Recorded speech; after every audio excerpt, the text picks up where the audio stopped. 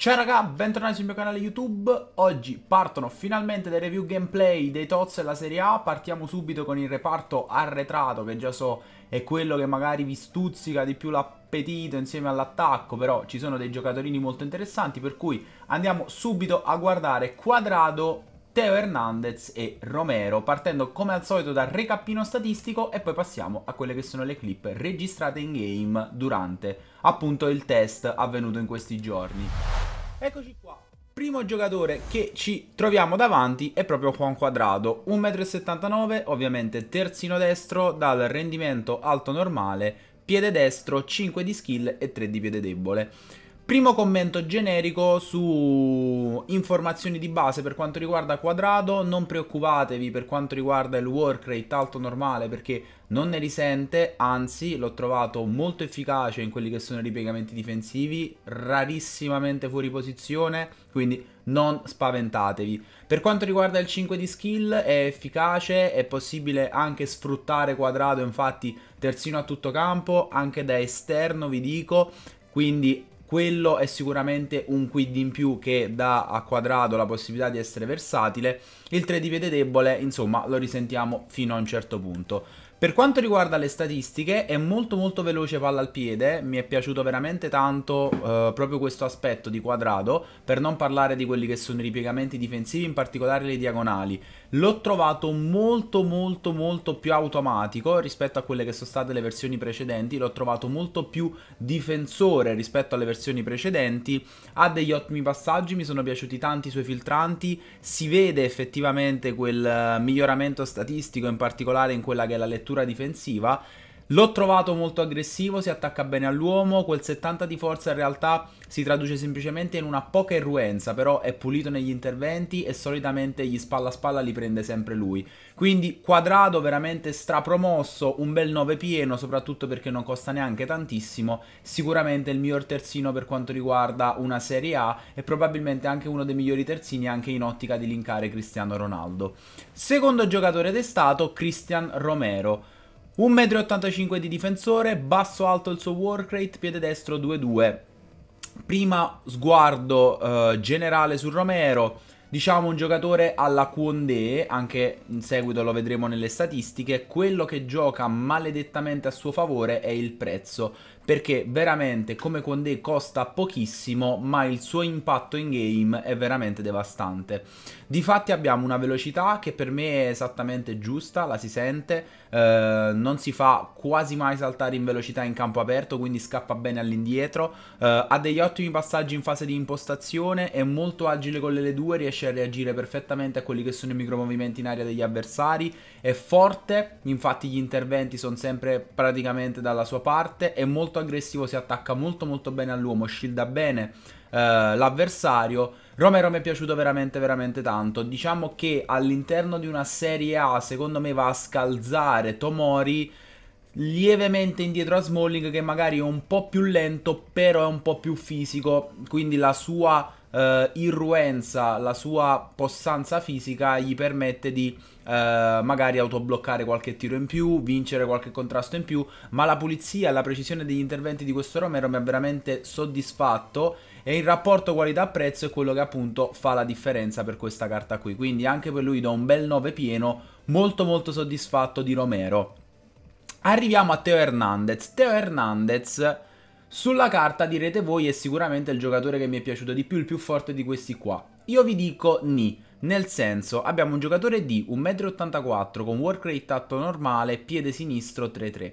Allora, Teo Hernandez l'ho giocato in due ruoli, difensore centrale e terzino sinistro e vi posso dire che Fino a quando l'ho giocato, difensore centrale, allora, non preoccupatevi del rendimento perché non si sente, ma in mezzo alla difesa mi sembrava un po' un oggetto spaesato. Non chiedetemi il perché, il per come, ma io non sono mai stato un grossissimo fan di questo Teo Hernandez da difensore centrale.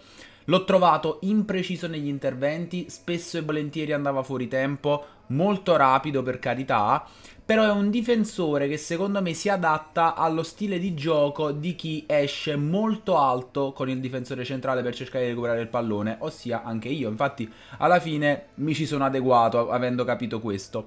Però per difendersi all'interno dell'area di rigore o al limite non l'ho trovato il giocatore ideale.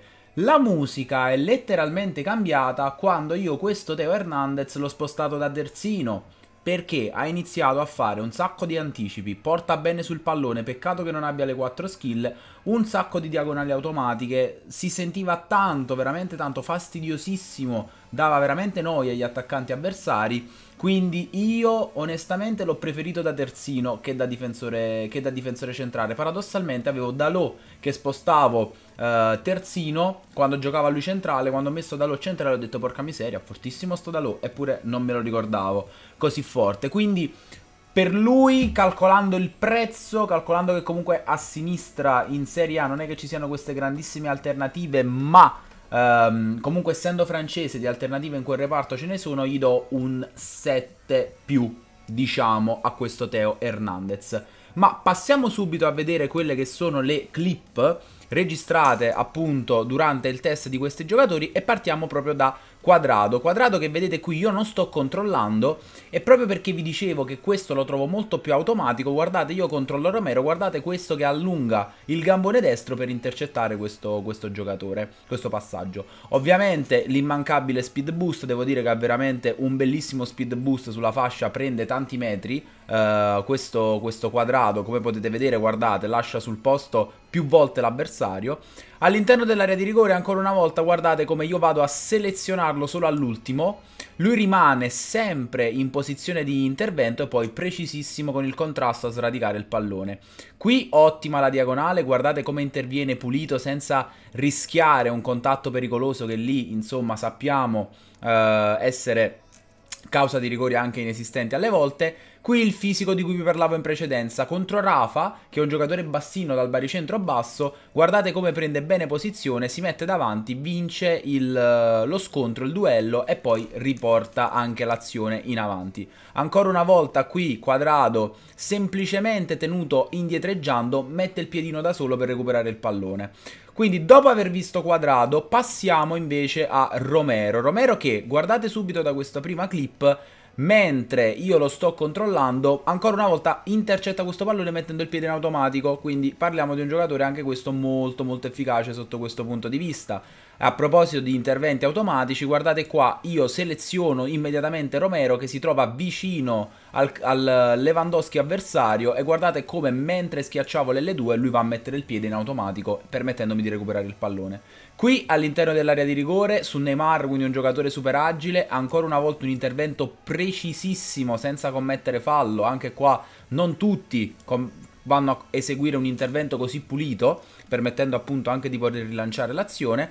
Qui invece l'altra faccia della medaglia, perché se Teo io non l'ho trovato un difensore da ultimi metri ma solo da campo aperto, questo Romero invece abbina entrambe le sue doti. Infatti guardate qui come vado a recuperare benissimo palla alta su Coutinho e poi rilancia anche l'azione grazie ai suoi ottimi passaggi. Ancora un altro footage con Romero che si avventa su Mbappé in campo aperto recuperando il pallone e notate come sia in questo intervento sia in quello precedente la palla gli rimanga esattamente incollata ai piedi e questa è veramente una chicca che mi è piaciuta tanto di questo giocatore un po' come accadeva esattamente con Condé per quello vi dico il Condé della, della Serie A Qui invece passiamo a vedere quelle che sono le clip di Teo Hernandez e subito vi faccio notare una cosa. Già qui siamo in una posizione da difensore centrale più schiacciati, guardate, va a fare il contrasto ma non recupera bene il pallone.